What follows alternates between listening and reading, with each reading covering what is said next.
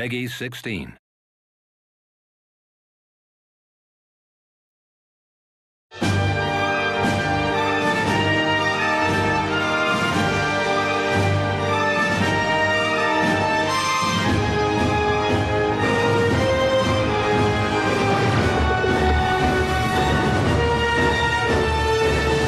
Our goal from day one was to make the most authentic Star Trek game that had ever been created.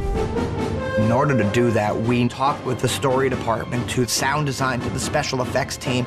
So when you walk through the hallways and the bridge, it's exactly the same design and sound effects that we use on the movie. Oh, this never gets old.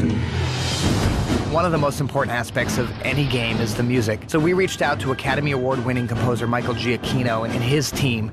They worked on the music for our films and asked if they would write some music for our game. And we were thrilled when they came back and said yes.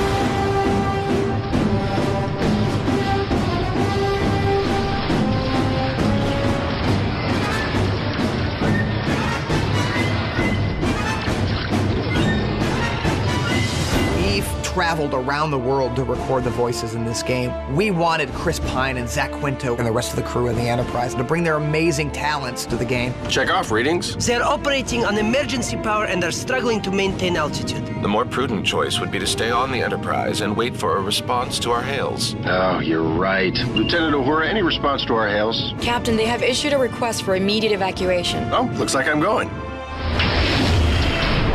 Sulu, you gotta get us down there. Our only chance is if we fly a shuttle in manually.